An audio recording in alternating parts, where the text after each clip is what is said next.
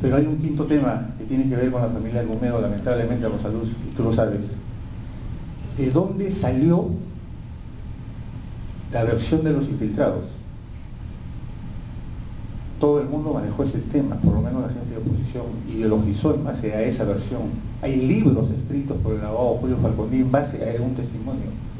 Espero que, ahora sí el, doctor Falconi se haya dignado venir, ya que nunca quiso hacer una entrevista persona a persona y solamente me respondió correos muy cortos.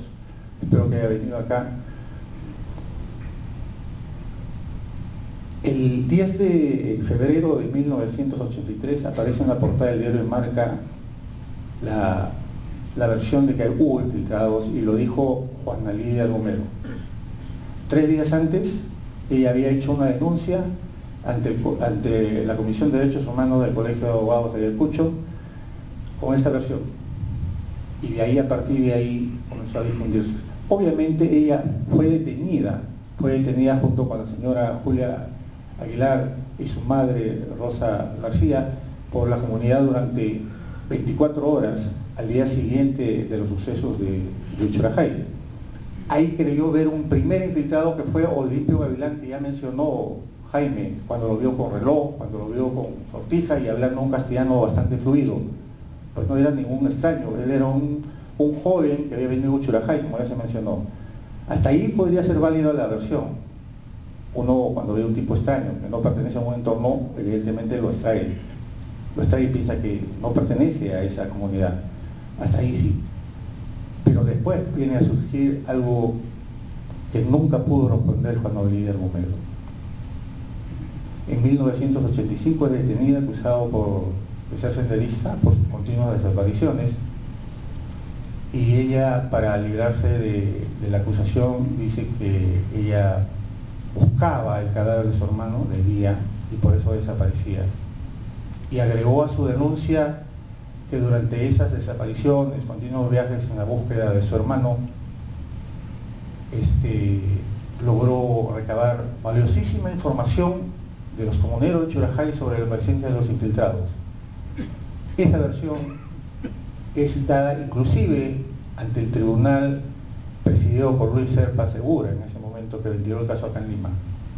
Esa versión es la que quedó históricamente inscrita y que la prensa, todos nosotros manejamos, porque es una verdad oficial finalmente, está en un atestado, en un expediente judicial.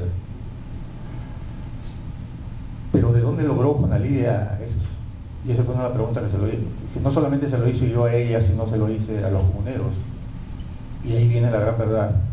Ella perteneció a Sendero Luminoso. Ella incursionaba en estas incursiones que hace un momento he mencionado y formó parte de esta columna encabezada por Miguel Figueroa Morales. Ella llevaba la lista ¿Es válida la versión de una persona involucrada con sendero que te indica ese tipo de cosas? Esa es la pregunta que se hace. Yo les pregunto a todos ustedes, ¿es válida esa versión? Evidentemente que no, es una versión totalmente interesada.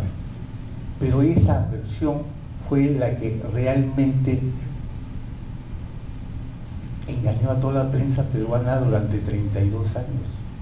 Están los comuneros de no uno, sino todos los sobrevivientes que la han visto y la han reconocido formando parte de estas columnas.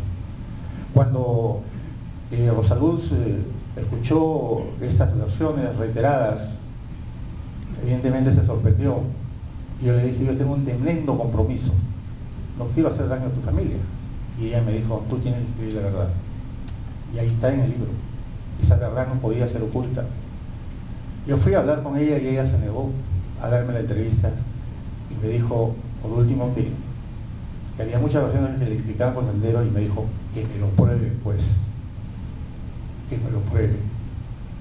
Esa es la versión, señores, de toda la prensa que fue inventada o no por Juan de Argumedo. Lo siento mucho por los familiares, por Carlos Infante, que es su sobrino, por Rosa Luz, pero esa es la verdad.